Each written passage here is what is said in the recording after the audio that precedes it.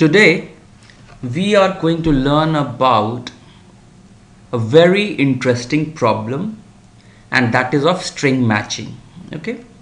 So string matching is used quite a lot and in lot of different fields. So one very basic method that we all know is by brute force okay? But here we will look at one of very interesting algorithm which is known as Horspool algorithm. And it is very much similar to Boyer-Moore algorithm also okay? So you will understand from this the table construction for both the Horspool's algorithm and Boyer-Moore algorithm that is very famous string matching algorithm. In fact it is used in lot of virus detection using pattern matching. So this is the algorithm that is used so let's see what is string matching. So you will be given a text, okay, so like the text A, B, A, A, C, A, B, D, A, C, C, something like this, a big string. You will also be given a pattern. So with this pattern, you have to now find is this pattern present in this string or not. Okay, so this is the idea. So let's see. So text is S0, S1, S2, S3 till Sn minus 1 okay? And how we try with brute force? So this is the text. What we do this is A B C A A B C A B B A. So we have this as the text. And then we have a pattern BCA okay? So you have to find is there a pattern BCA of three letters? Does it exist? The simplest algorithm this is the text. If we use a sliding window it starts with the first character of T. We have this window. Now what you need to do just see if from right to left we do. So is C is equal to A? So no. So this means this pattern doesn't match because for pattern to match all of them should be equal. So we can match each letter from left to right or right to left. Both are fine. So from left to right is a is equal to b no okay? So if any one of them doesn't match it's not a pattern. So here for Boyer-Moore algorithm or for Horspool algorithm we will use from right to left we will match the pattern. So c is not equal to a in the first letter itself. It doesn't match. So we slide the window by one to the right. Bca now we see a is equal to a corresponding C is equal to C and B is equal to B. So BCA matches the pattern and hence we say now that we have matched got one pattern. But still we can move further we can slide the window once again to the right. So it will come here B C A. B is not equal to A so this will not match. Again let's see if this if we move further two shifts so BCA is matching. In the last final shift BCA is not matching. So we got two shifts which are matching. So this is the method. And now if the length of this is n, this is m. So you can understand that for one matching with shift, if this window is somewhere, so to match, if it is the same, this pattern is there in the text, so you have to compare M text, isn't it? And this sliding window can, how many shifts can it make? So 1, 2, 3, 4, 5, 6, 7, 8 shifts. Okay, so it can make maximum of, so this N is 1, 2, 3, 4, 5, 6, 7, 8, 9, 10, 11. So around M minus, so N minus M plus 1, something like this it can make the number of shifts okay? So you have the algorithm which will be O of m into n minus m plus 1 so mostly it will be O of m into n. Okay so this will be the time complexity if we use the brute force method okay? So if n is very large and m is large so this will be a complicated algorithm big. Basically you have to try out lot of shifts. But what is done in now the Horspool's algorithm? So if we can find that in the text pattern if we can see that in the pattern if we can pre-process it and find some useful information we can make shifts larger than 1 without missing any of the patterns. So that is the beauty and the key idea. The key is shift of length greater than 1 okay? And of course maximum it will be m. So what happens? Let's see. So if we have a pattern which is barber okay which will cut your hair. So barber if it is there and let's say we have some string which goes on like this till sn minus 1 so this is the text string. And in that let's say that our window was somewhere in which the last string the last character of the text is s and we have r there. So these two doesn't match isn't it? S is not equal to r. So we take the from the pattern window whatever is matching there the last character c. So here c is equal to s. So we compare these and we start from right to left so s is not equal to r. So what happens now? So let's see how much shift can we make. So we see that S is not at all present in the barber pattern. So what happens? If we make a shift by 1 so now E will be now coming to face S. E is not equal to S because S is in fact not there in any of the it is not present in the pattern. So now with 2 shift B will come to S. Still it will be not matching. It will be rejected. With 3 shift R will match S again. So what will happen? With shift of 3 also it will not work because R is not equal to S. Then with shift of 4 we will have A aligned to S. Again S is not equal to A. If we shift by 5 so B is aligned with S it will also not match. Okay so that's the thing. So it means that if the character C is not present at all in the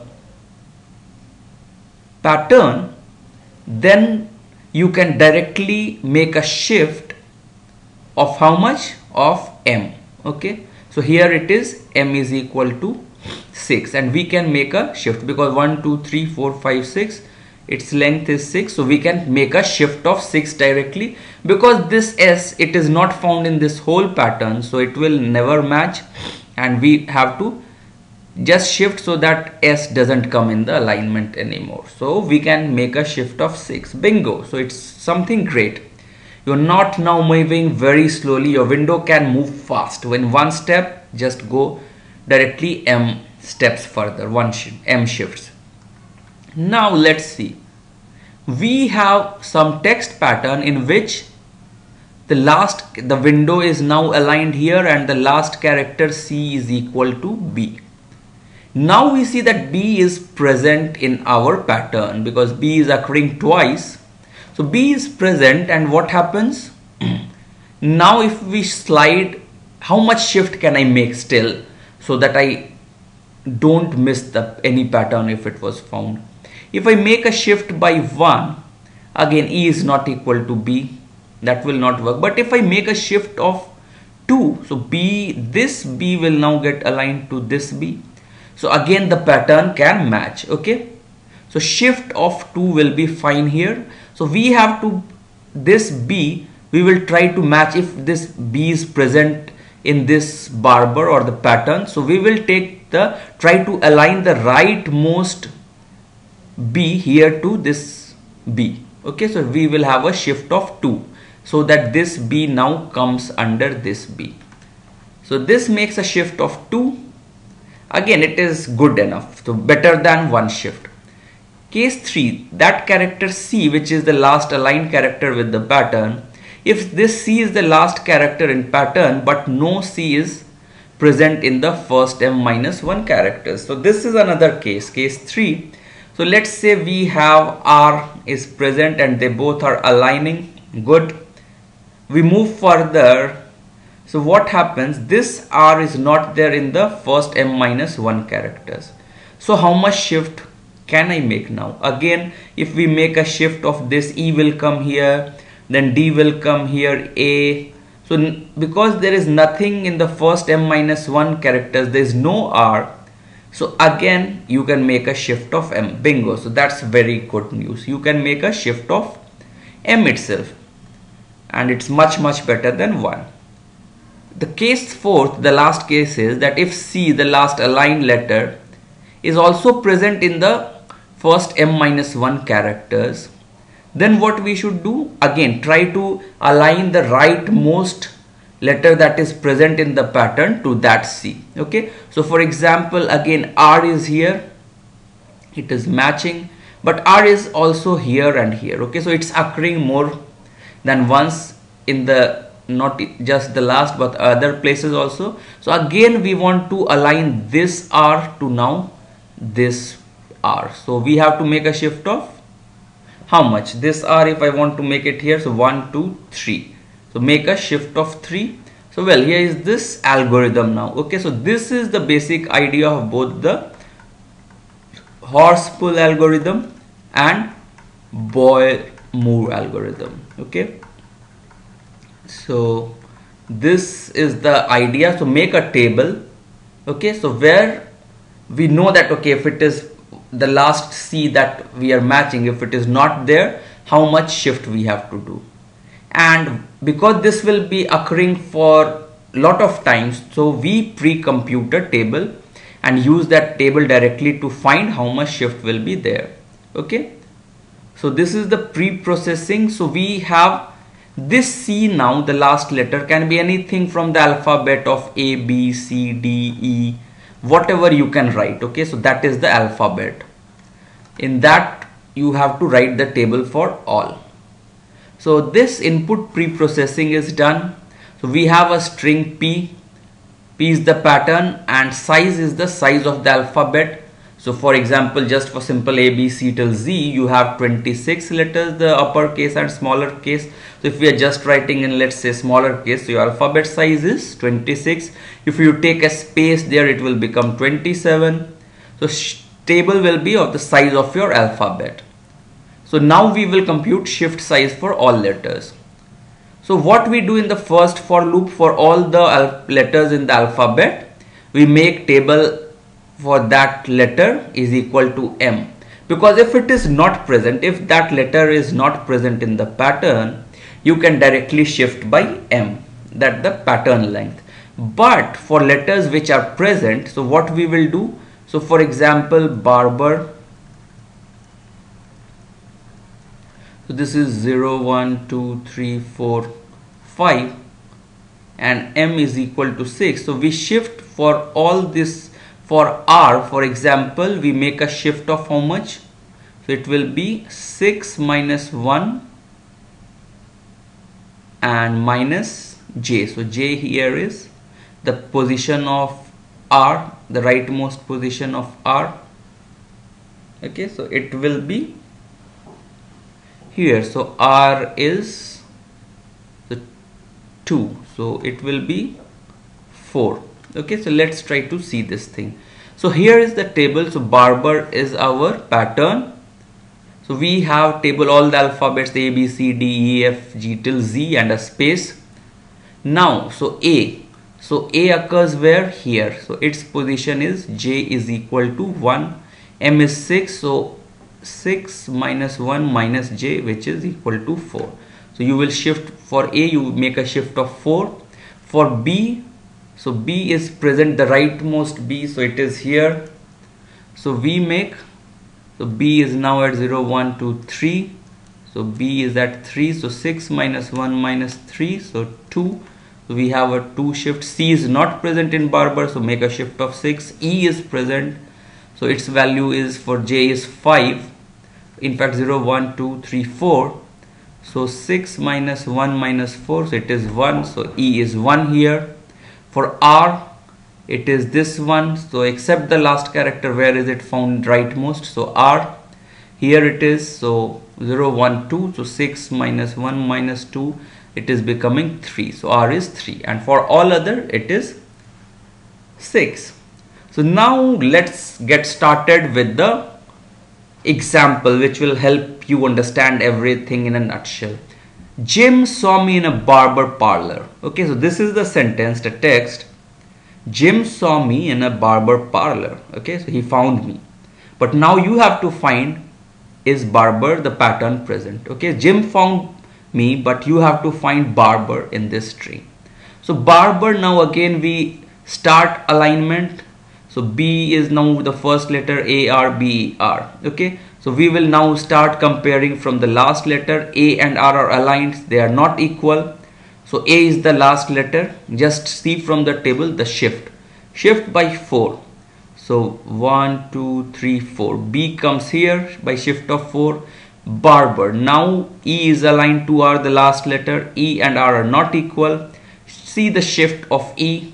1 so we make a shift of 1 e comes here so that e and e are now aligned. So we will try to now see is it happening? So underscore and r are missing but we try to align e with e so that at least it's possible that okay we are aligning something so there might be a match. But it's not happening. R and space are not matching. So underscore there is no underscore in the pattern. Shift by 6 directly barber now comes to this place barber. Again r and b are not matching but b if it is there shift by 2 so barber comes here. R and r are matching good. A and e are not matching. So last letter was r. If you have an r shift by 3 okay so that this R is now aligned to. So you have to make a shift such that so this B gets aligned to so now what let's see what is happening. B so we have a B so with B you have to make a shift of 2 I made a shift of 2 barber R and R are matching. A and this are not matching. So R again. So for R you have to make a shift of 3 so I come here. 1 2 3 so barber now R is matching. E is matching with this E B is matching here R and R matching A and A matching B and B matching. Bingo. So it is matched now. And you have found me also and Jim has found me and you have found barber here. Okay? So now that for any random text so this requires now theta of n time for finding the match. Okay? So this is the average running time okay for this for finding the pattern and if you see for this table creation it is just done once. And that's called the pre-processing and it will be taking time. Oh, of what this size is so theta of size. So this is the size of the alphabet it will take okay? So this is running just once then after that you can oh, match the pattern in theta n time okay? So that is a great news. So now you know how to do pattern matching at least much faster than the brute force method. And this runs in theta n times on average whereas that was theta n into m. So you are getting such a great benefit. So theta n into m. So this will be if m is large 10 so it will be coming 10 times of this. Okay? So this is great pattern. The pattern length increases. This will be much more. Okay? So i hope you like this video. It is very interesting pattern matching so if you like this video please subscribe to my youtube channel. Tell it to your friends also to watch my youtube videos. Thanks a lot